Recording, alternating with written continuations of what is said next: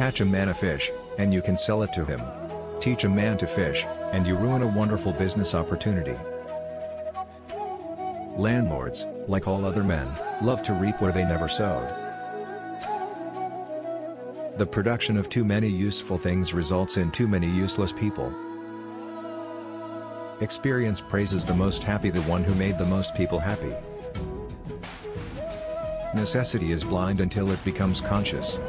Freedom is the consciousness of necessity.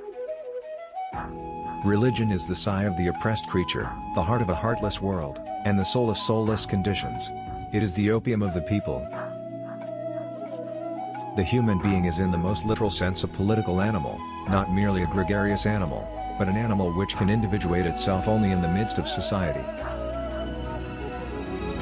Necessity is blind until it becomes conscious. Freedom is the consciousness of necessity.